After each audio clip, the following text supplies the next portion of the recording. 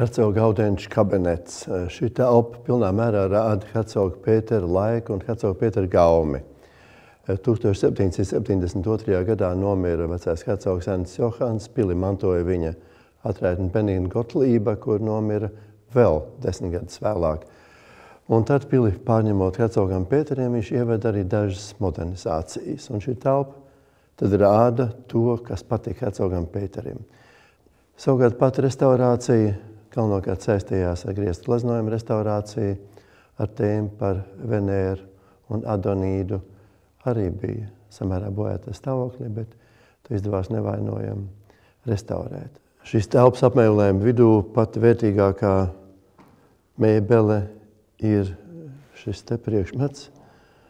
Un eh, vērtīgākā ne tikai šajā telpā, bet visā mūsu kolekcijā.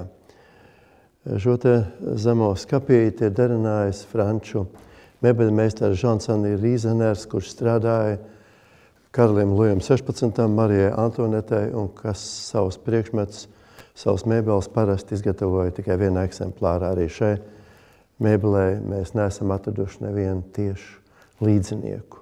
Hercogam Pēterim veltītajā audienču kabinetā viņš pats no savu portretu arī uz visu to noraugās. Portrets ir ļoti interesants, jo nāk no akadēmija Petrina Jelgavā, tātad no mācību iestādes, ko 1775. gadā viņš atvēra pats pie tām finansējot gan ēkas celtniecību, gan maksājot profesoru algas, gan arī dāvinot šai mācību iestādē 15 tūkstošu sējumu lielu biblioteku. Un portrets ir galma gleznotāja Friedricha Hartmana Bariziena darbs un atradās akadēmija Petrina sēžu zālē. Taču to saistās kāds ļoti interesants notikums, kas rāda laikmetu gaisotni.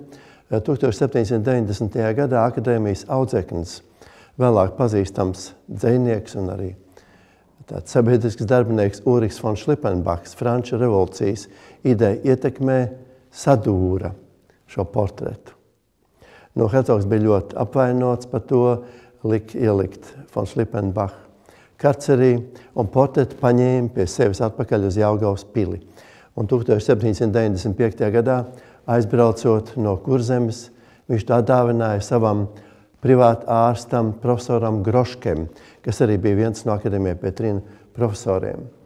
Un Grošks savukārt to deva Kurzemes provinces muzejam, kurā tas atradās līdz pat uh, pagājušā gadsimta 30. gadiem, kad to pārved uz Rīgas pili, kur tas atradās savukārt Rīgas pils prezidenta reprezentācijas telpās.